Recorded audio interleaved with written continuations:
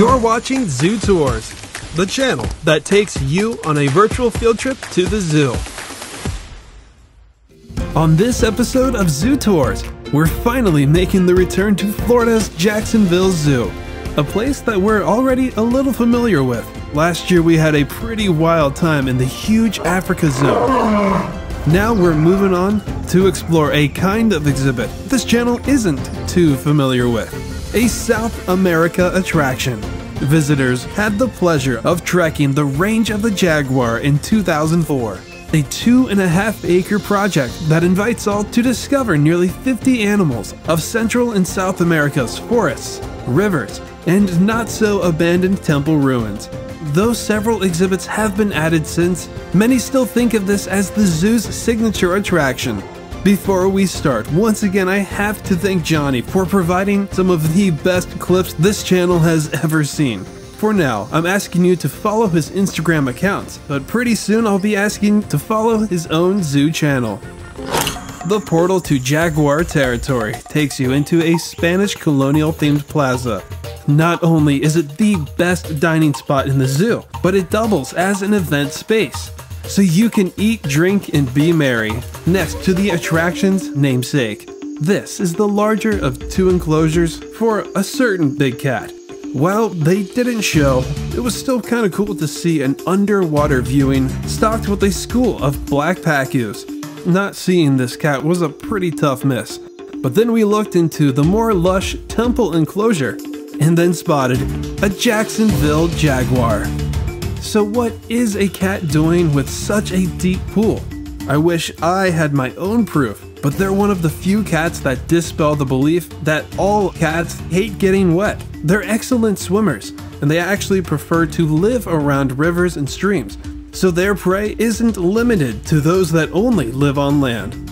After some breeding success, Jacksonville had the largest jaguar population in America, with a total of eight. These days, I believe they're down to only a few, and they really do make for one excellent opener to any exhibit attraction, especially when they live in one that's on the more unique side. I want you to comment below what your favorite Jaguar exhibit is. Yes, they were the headliners, but there are still a lot more exciting surprises along the way, especially in the Lost Temple. Some zoo fans aren't really big on zoo temples because they're not exactly natural looking. But I think Jacksonville did a great job with both the theme and details for the habitats. First up is one of my favorite amphibians, the aquatic caecilian, which is equal in beauty, obviously, to this emerald tree boa. Next is the largest venomous snake of the New World, the Bushmaster. Their genus name, Lachesis, refers to one of the three fates in Greek mythology, who, in short, measured and determined the destiny of a mortal's life, a tribute to the lethal power of the Bushmaster's bite. The fangs of the yellow-bellied puffing snake have two kinds of venom, one for killing small mammals and another saved for birds and reptiles. A little on the smaller side, we have the Mexican alligator lizard next to the eyelash viper, I believe the Caecilians used to share this with the caiman lizards. They have a broad orange head, green body, powerful limbs, and a muscular jaw. And they spend more time swimming than most lizards, in their case, swimming with freshwater stingrays.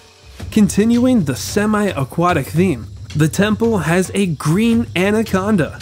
They were not as visible as I was hoping they'd be, but it was still impressive nonetheless to get this close to them. Down the hall are a couple more terrariums for a very curious Aruba Island rattlesnake, a critically endangered species endemic to a small island just above Venezuela. They're settled next to a smooth helmeted iguana, also known as the elegant headed basilisk. These two caves that are located right across from each other create the darkest part of the temple. Appropriately, one contains a colony of vampire bats and Seba's short-tailed bats in the other. And lastly, this large mixed species habitat features an aquatic box turtle and the Utila spiny-tailed iguana.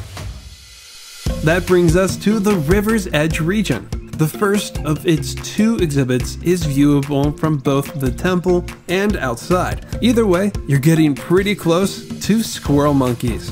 True to their name, they're extremely quick, curious, and mischievous, especially Jacksonville's. One of them was even able to slip through the mesh right after this exhibit opened. They share this with black howler monkeys. One of the largest monkeys also has a noticeably large neck, that is all thanks to their hyoid bone. We have it too, but the monkeys have one that's enlarged and more cup-shaped to make their voices heard from 3 miles away. We all know that monkeys can be pretty distracting, in a good way, but keep your eyes peeled for the giant anteater. The term anteater actually refers to four species from a suborder that essentially means worm tongue. And no, they don't have influence on Rohan royalty. But they are all known to eat ants and termites. Go figure. Giant anteaters have about a foot worth of face, yet have no teeth. But they do have a 10 millimeter wide mouth and a 2 foot long tongue, which they can flick in and out of its mouth nearly 3 times a second. It's coated in a sticky saliva, so if any insects get caught on it, there's no escaping from becoming anteater food. When we visited about a year ago, we only saw one. Don't get me wrong, it was an amazing sight on its own. This year, Johnny went back and saw something wonderful. In a standing position, a mom will usually give birth to a single pup that's born with a full coat and is already practically identical to the adult. Since they are solitary, the mom is literally left to do the heavy lifting, as her offspring will cling to her back for up to a whole year. One really cool thing about this exhibit is the designers put holes in one of the walls so they can sniff the animals next door. Their exhibit was going under maintenance last year. Fortunately, when my good friend went back, he documented what's called the world's friendliest animal. So how did the capybara get such a chill reputation? Well, this is likely because they are extremely social, both amongst themselves and other species. They probably know that getting along with others is a great way to provide each other with security and other benefits. One example, many birds will eat insects stirred up from a grazing capybara. The birds get a meal, and in turn, this giant rodent is protected from ticks and parasites. They seem to be so trusting to the point that some question their survival instincts, but you have to remember that a lot of the affection that you see mostly happens in controlled environments, where they don't really have a reason to be alarmed. Oddly enough, wild cappies don't seem to mind the presence of crocodilians, but they still won't try to make friends with eagles, anacondas, and of course, jaguars. We're now headed towards what might be the zoo's peak, the Emerald Forest Aviary. As said on the previous Jacksonville video, this place is well known in the zoo world for its few but memorable aviaries. For the sake of saving the best for later, we'll go a little out of order the guest path is a single loop through a 7,700 square foot flight cage and goes around a well detailed central pond. So you share the space with Mesoamerican and Central American river turtles, the American oyster catcher, black bellied whistling ducks, an entertaining brown pelican. Don't worry, that's just your typical yawn. There's roseate spoonbills, a regular to both South Central America, and even Florida. Scarlet ibises that completely contrast the black-faced ibises. Inca terns. I've seen twice exhibited with Antarctic penguins, and the rest were in rainforest habitats, but they mostly naturally range the cliff sides of South America's west coast.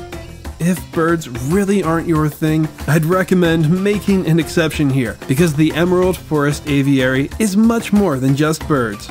Just outside of the flight cage, but still within view, is or was a red footed tortoise. Now, the true stars of the aviary and all of the range of the jaguar, in my opinion, the giant otters. How giant are we talking? Imagine swimming next to an otter, and that otter is either longer than you or they just barely come up short. Some adults are only 3.5 feet long, but others are nearly 6 feet long.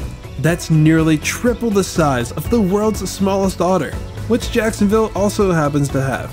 And they seem just as cute as all the other otter species as well. But don't let their looks fool you.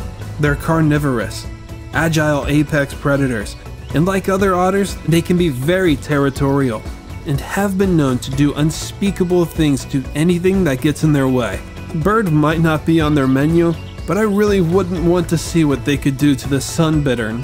Even the mighty jaguar, who we just learned doesn't see water as an obstacle, will think twice before entering a river when these guys are nearby. There is a third habitat, I guess also technically outside of the aviary. This once contained a harpy eagle, as seen on episode 50. Now it's since taken over by cotton top tamarins, a very cute squirrel-sized monkey named for having all that flow on and around their head. But you'll notice they're one of just a couple of tamarins that have bare or lightly covered faces a feature that you might say is very reminiscent of a tiny Albert Einstein. Alright everybody, we just have one more species.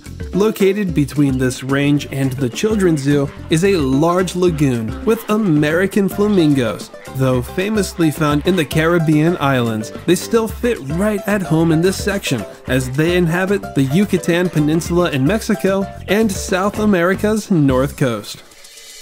And that, ladies and gents, was the Jacksonville Zoo's famous Range of the Jaguar.